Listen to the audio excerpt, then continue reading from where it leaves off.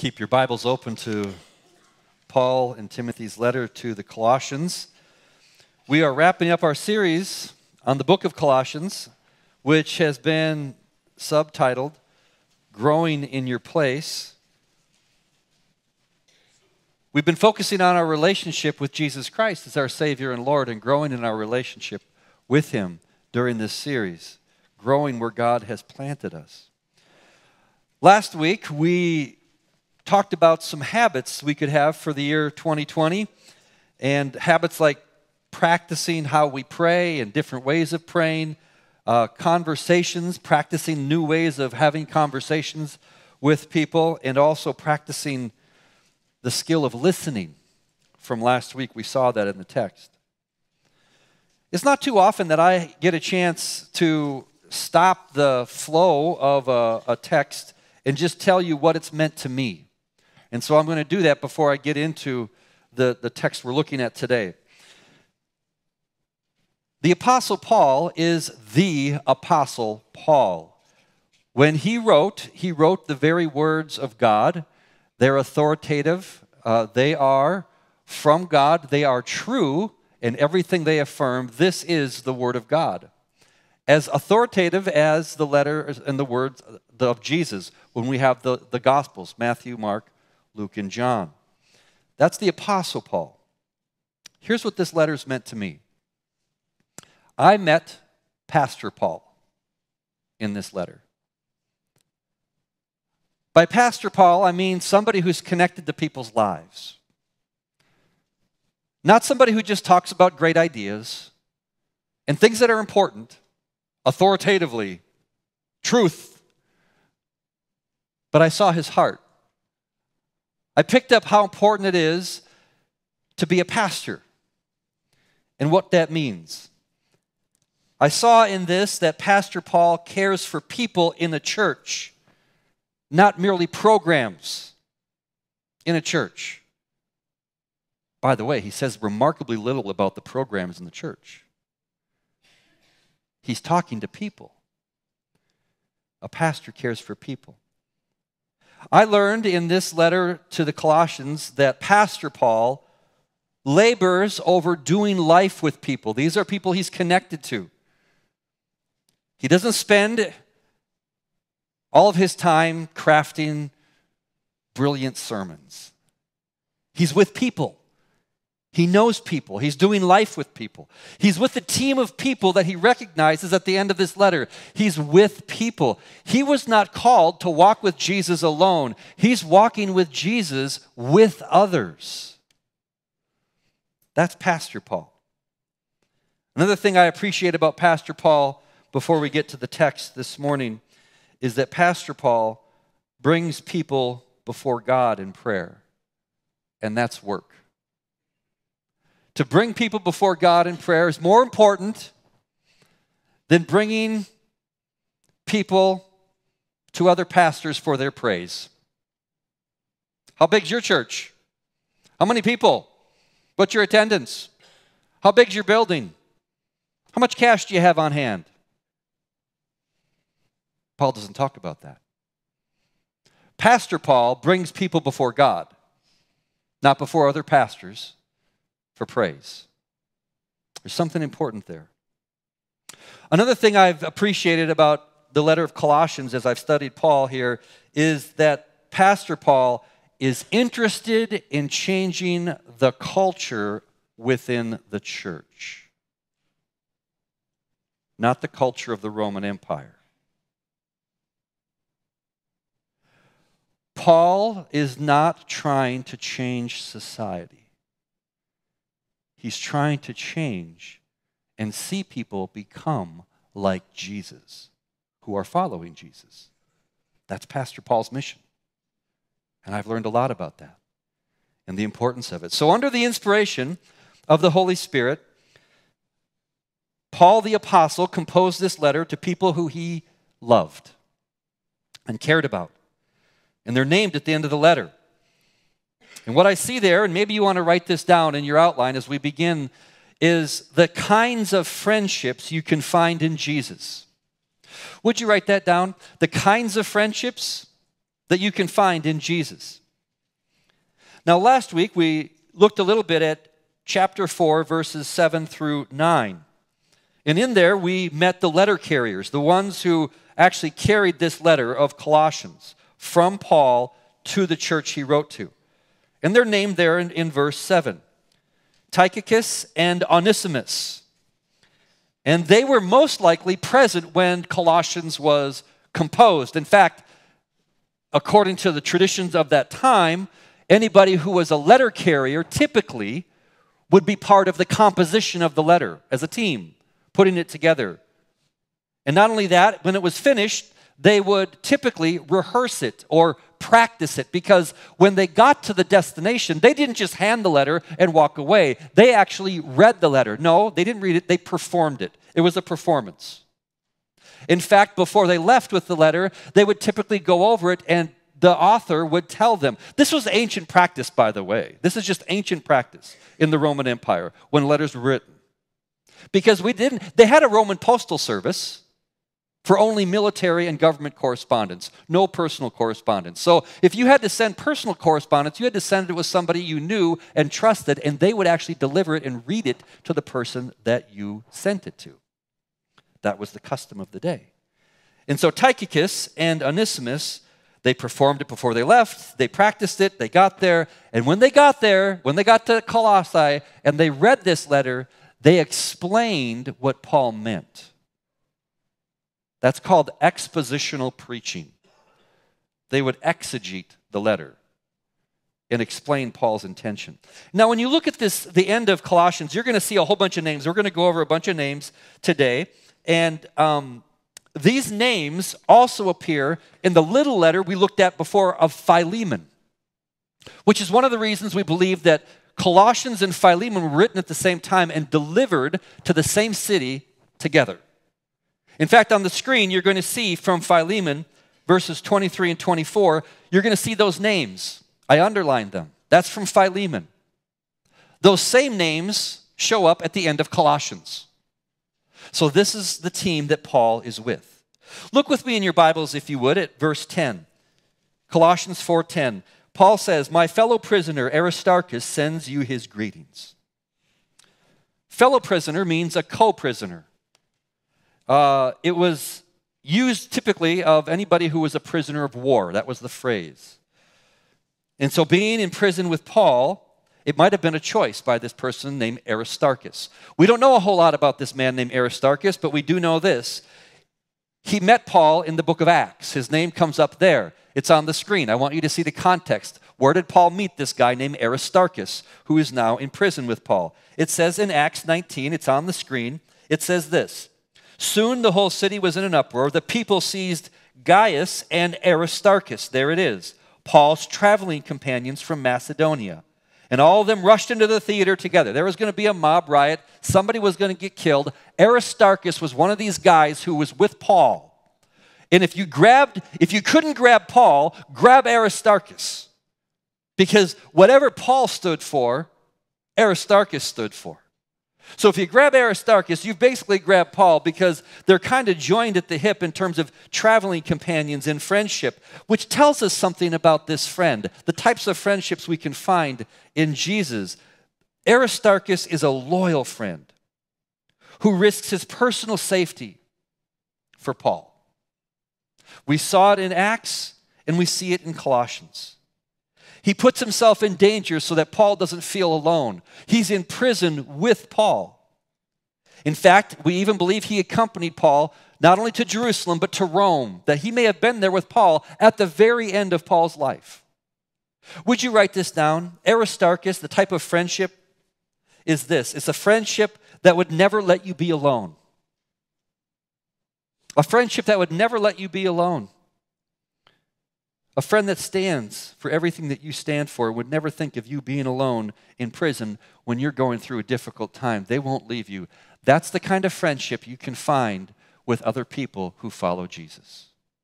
Paul found it.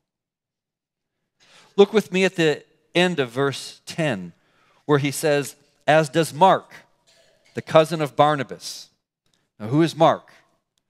We've met Mark before when we studied the book of Acts. Mark was prominent in the book of Acts. He's also called John Mark. And Mark was a member, a family member of, you can see there in verse 10, the cousin of Barnabas. Now, if you recall, Barnabas was one of the main leaders of the early Christian church. In fact, Barnabas and Paul were the first great missionary team that went out from Jerusalem to share the gospel of Jesus Christ. And so Paul and Barnabas were close friends, but they had a huge argument in the book of Acts. Paul and Barnabas had a huge, uh, had a sharp dispute, it says, over Mark. You see, Mark had quit an earlier missionary trip. He went home in the middle of it, and Paul does not like disloyalty. He doesn't respect people who quit halfway through a job. And so Paul had no confidence in Mark, young Mark. And so Barnabas said, "No, no, let's give him another shot. Let's just let's have him come with us on this next trip." And and Paul and Barnabas had a had a parting of the ways. They could not work together. So Barnabas took young Mark and basically mentored him and developed him for years, and he became the person Barnabas thought he could, Barnabas, the son of encouragement did that with Mark. But Paul was done with Mark. Well, eventually, Mark wrote something very important that you have in your Bibles called the Gospel of Mark. That's him, that's who wrote it. And I think what we can take away from that when it comes to friendship is we shouldn't let well known past grievances with someone prevent the possibility of a rekindled friendship. Would you write this down? A friendship that ended but was reconciled. A friendship that ended. You had a friendship, it ended, it ended badly. There was a sharp dispute, like with Mark and Barnabas. But then later there was reconciliation. Mark came back into the picture. Mark had changed. God had developed Mark's life. And now he's with Paul and he's a friend. And I think we should think about this in the church with other followers of Jesus that we develop friendships and sometimes they go sideways and we have to part ways for a while. But then God rekindles things. I don't want us to miss out on rekindling friendships. And I think we need to give people a chance to change on God's timetable. And I can only wonder because of the parentheses. Did you see the parentheses that Paul put there? Look at what it says in verse 10 at the end. There's a parentheses. It says, You've received instructions about him. If he comes to you, welcome him.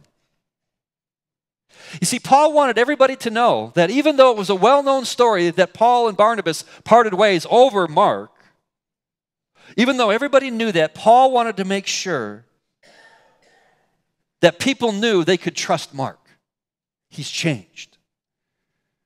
And he wants them to welcome Mark. I think this is an important lesson for us in terms of application that we be careful that we not pick up someone else's offense. If you hear that some Christian, a friend of yours, and another Christian friend of yours have an argument and a dispute, that you be careful that you don't pick sides, that you be careful that you don't pick up somebody's offense and hold that against, well, we don't want to welcome Mark back here. Did you hear what he did to Paul? Don't do that. What if God is doing a work in their life? What if they change? We need to extend grace to each other that we change as we follow Jesus. Imagine the friendships that you would miss out on if you eliminated everybody who you heard had a problem with someone else you knew. Look with me at verse 11. Paul and his team, under the inspiration of the Holy Spirit, they write this, verse 11 Jesus, who is called Justus, also sends greetings. I don't know. I don't have anything profound to say about Jesus of Justus. This is all we know about him. This is it. There's nothing more. There's not a peep. You can't hear anything else. We don't know who this guy is except that's it. Jesus of Justus. We don't know who's called Justus. But Paul does say this. Look what he says next in verse 11. He says, These are the only Jews among my co workers for the kingdom of God, and they've proved a comfort to me. In other words, Mark and Aristarchus and Jesus called Justus are the only friends that Paul had who shared Paul's background. his Jewish upbringing, his heritage. Now, maybe Paul thought he'd have more uh, Jewish friends than this at this point in his life, but most of them have left him for whatever reason. They're not with him. He thought he'd have a large, perhaps large contingent of people who shared his background. Maybe he didn't because it really didn't set well with a lot of even Jewish followers of Jesus that Paul was so comfortable with Gentiles. And they just couldn't stomach that. So they weren't with him. Only three. In fact, it says in verse 11, the only emphasis, only Jews among my coworkers.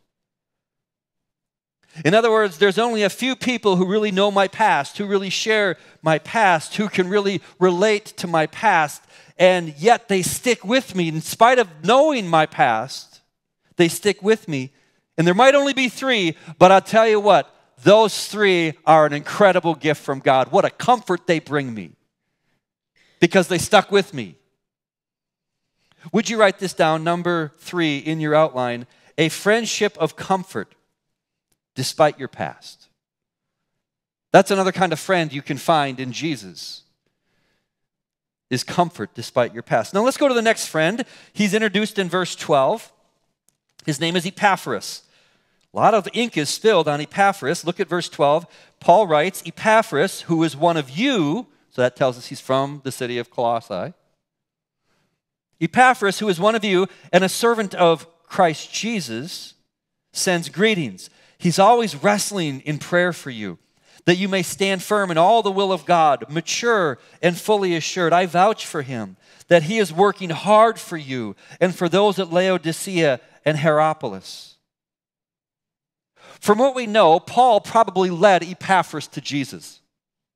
Paul shared the gospel with him, and he came to know Jesus. And then what he did is, after Paul led him to Jesus, he went back to his hometown, Colossae, and he started a church. So Epaphras is probably the one who founded the churches in Colossae. Not only that, he went to other nearby cities. He didn't just start a church in Maple Grove, he started one in Brooklyn Park and he started one in Plymouth. It was called Laodicea and Hierapolis, just a few miles away from each other.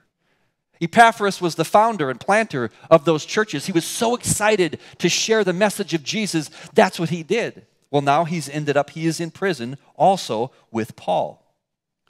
Paul calls him in verse 12 a servant of Christ Jesus. That's, that word servant is really soft. It actually means a slave. He wasn't a slave, but he felt enslaved to Jesus. Jesus is his master and Lord. And so that's how he saw his life. Epaphras was a slave, and he shared with Paul a heart for God's people.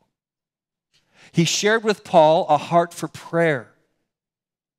When he couldn't be with people because of his circumstances, he was always praying. And that prayer was hard work. And he's wrestling for people. He's worried about those he's left behind. He wants to be there with him, but he can't. For whatever reason, he can't be with the people he cares so much about, but he can pray, and that's what he's known for. He's someone who prays. What does he pray for? He prays that they would mature and grow up in their relationship with Jesus, even though he can't be there to help them. He prays that they'll stand firm in Jesus, even though He can't be there to help them. He's a prayer warrior. Would you write this down? There's a friendship that we need to value with our Christian brothers and sisters. It's number four, is a friendship that brings you before God. How many of you have a friend who's not here? They haven't seen you perhaps for some time, but you know they would pray for you at any time. They bring you before God. That is a gift to have a friendship like that. Look at verse 14. He says, Our dear friend Luke, the doctor. Okay, let's talk about Luke. Luke wrote a lot of the New Testament. He wrote the book of Acts and he wrote the Gospel of Luke. That's Luke. Luke was somebody who traveled with Paul. He kept saying, we know that Luke wrote it because he kept saying, we, we went here, we went this. So Luke is a firsthand witness of a lot of Paul's ministry. But not only that, Luke is a doctor, and Luke is, he can write really well, and he's a researcher, he's a historian. And so as he traveled with Paul and he met different Christians who knew Jesus, because Luke never met Jesus, but he would interview people like Mary. What was it like when the angel visited you? And Luke wrote it down. He visited eyewitnesses who were there, who knew Jesus, and then he recorded it. He recorded it because it was so important. He said, This is a story that we all have to remember. And the Holy Spirit was leading Luke as he was gathering all these writings and putting them together in an orderly way in Luke's gospel and in the book of Acts. And now this same Luke is here with Paul. He's very concerned that history is recorded and preserved. By the way, just as just an aside, people have often wondered how did we get all of Paul's letters? We don't know exactly how we got them all, but there's an interesting process that happened back in the ancient world. Whenever an author would write a letter like this and compose it with the team, they would make two copies. Two copies of that letter would be written out. The handwritten copy that would be sent to the church or this, the person you're sending it to to be read and performed, that was one copy. The other copy would be another copy would be retained by the author. And we, we don't know how we got all of Paul's letters. Perhaps, perhaps all the different churches that he wrote to kept copies and they shared copies. That could very well be what happened.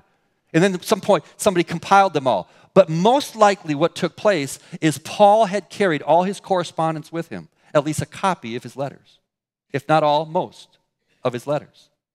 And when Paul was executed in Rome, the history records that Luke was with Paul. After his execution, it's very likely that Luke gathered up all of Paul's personal effects, including all of his letters, and that's how they all got preserved. And so Luke is very important in how in the reason you and I have God's word today from the New Testament. And there's a friendship that we can learn. There's something about friendship we can learn from someone like Luke. Do you have a friend who cherishes the experiences that you share with them? Maybe they've written it down. Maybe they've taken pictures. Maybe they've recorded it in some way. Maybe they pass it on. There's a value in that. Would you write this down in your outline? Number, number five a friendship that preserves and cherishes shared experiences.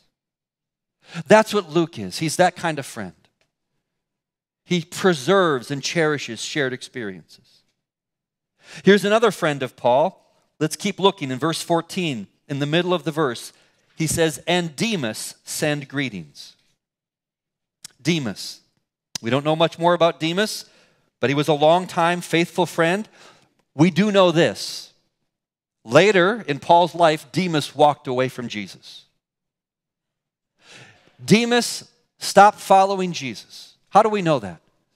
Because in Paul's last letter that he wrote, the letter of Second Timothy, he mentions Demas. Look at the screen. Here's what Paul says at the end of 2 Timothy. He says, Do your best to come to me, for Demas, same one, because he loved this world, has deserted me and gone to Thessalonica. Who's with him? Look at verse 11. This is the end of Paul's life. Who's with him? Luke. Luke is there. Oh, what? And who else? Bring Mark. Bring Mark to Rome. I want Mark to come. I can trust Mark. See all these, see all these relationships, how they fit in? Because he's helpful to my ministry. And what does he also especially want? I, I, need more, I need something to write on. Bring some parchments, bring some scrolls, because I keep things with me. I keep parchments with me. I keep my letters with me, which was the common practice of the day. So, what do we learn about Demas? We learn number six, would you write this down? Sometimes we have friendships that break our heart and they don't end well. It didn't end well with Demas. We don't know what happened. Maybe he did come back to Jesus after Paul wrote this letter, but we don't know. But Demas walked away and it broke Paul's heart. Now, Paul intended for this letter to the Colossians to be passed from church to church. So that when he wrote, let's say he wrote a letter to the church of Maple Grove at Maple Ridge, and then he wanted us to share it with the church in Plymouth, and he wanted to share it with the church in Brooklyn Park, and that's what we wanted to, and so it was a circular letter. It was meant to be passed around. In the letter I wrote to them, I want you to exchange letters because I've written letters to each of you. And we see indication of that here. Look with me at verse 15. Verse 15 says, Give my greetings to the brothers and sisters at Laodicea and to Nympha in the church that meets in her house. Now, I think it's instructive that it says brothers and sisters. So we are brothers and sisters in Jesus. And when we gather for public worship, we all have a gift from God that we can use to help each other follow Jesus. And in this case, in verse 15, there's a woman who hosts and gives leadership to a church that meets in her house. She's the head of that household according to what the Holy Spirit inspired Paul to write. Would you write this down? Number seven, a friendship that's like a family. Brothers and sisters, we're like a family where everybody has, a, has something to contribute. Would you write that down? Look with me at verse 16. After this letter has been read to you, see to it that you also read in the church the letter to the church of the Laodiceans, and that you in turn read the letter from Laodicea. Now, okay, here's an example. We don't know what happened to the letter of Laodicea. We don't have record. We don't have any, it was not preserved for whatever reason. But Paul expected these letters to be shared with different churches. What do we learn about friendship from the fact that Paul expected these letters to be passed around to different churches? Here's something we learn. Would you write this down? Uh, number eight friendship that brings in others. Paul wanted to bring other people into what was going on. I want your church to be concerned about what's happening in the church next door. You're not an island to yourself. We need to bring each other in. We need to be pulling in the same direction. Or to use a phrase we're, we're now familiar with in the Twin Cities, we need to row the boat. We need to be rowing in the same direction as a team with other churches because they're our brothers and sisters in Christ. And, and we need to bring them in. We need to be be part of the same kingdom building mission. Look with me at verse 17. Another friend. Tell Archippus, quote, see to it that you complete the ministry you've received in the Lord. Now, Archippus is a guy who shows up in the letter to Philemon. Same guy. We don't know much about him, but we know this. He had some responsibility in the church that was really important. He had some gifts that Paul had seen in him that Paul wants to make sure he keeps using them and he doesn't give up on using those gifts that God's given him. And so when this letter is being read, guess who's present? Archippus. It's like Paul saying, Oh, by the way, I'm locking eyes with you, Archippus. Archippus, you've got a gift. Use it. Don't neglect it. Keep using your gift. You've received a ministry, keep using it. Keep touching people's lives for Jesus. Don't give up. Would you write this down, number nine? A friendship that won't let you give up. We need friends who won't let us give up and who remind us of what God has done in our lives. And then look at verse 18. I, Paul, write this greeting in my own hand. Remember my chains. Grace be with you. Now, here's what I'd like you to do. You got that list in front of you? See that list of friendships? See what see the kinds of friendships that are there that you can find in Jesus? You look at that list. That that list you can find Jesus to be that friend. We sang already today about what a friend we have in Jesus. Look at that list, and you can see that Jesus won't let you be alone. Do you see? Look at number one. Look at number two, that you've been reconciled. Jesus is the friend that reconciles. Three, that he comforts you. In spite of your past, he stays with you and he comforts you. That's Jesus. Jesus is the ultimate friend. Jesus is the one who brings you to God in prayer. He prays for you. Jesus is that friend. Jesus says you're part of a family now. You have something to contribute. That's the friend Jesus is to you today. And Jesus won't give up on you. But you know what? Sometimes we're like Demas and we walk away. Now, maybe today we have some Demases here. And maybe you're back in church. It's been a long time since you've been in church, but you're back today. I want you to find that friend in Jesus and come back to him.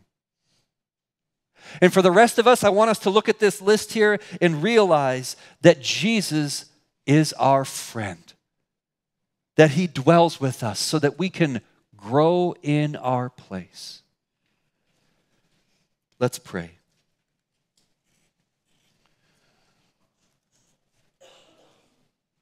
Before we pray, I just want to remind you that we have prayer partners who will be here at the front of the church to pray for you.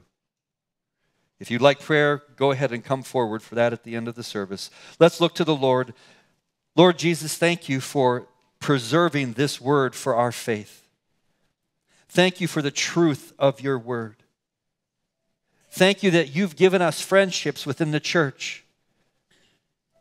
And if we have done anything that has cut off a friendship, God, would you do a work in our hearts so that we see that you, Jesus, are the friend that we need? Jesus, thank you that you dwell with us. For we pray this in your name. Amen.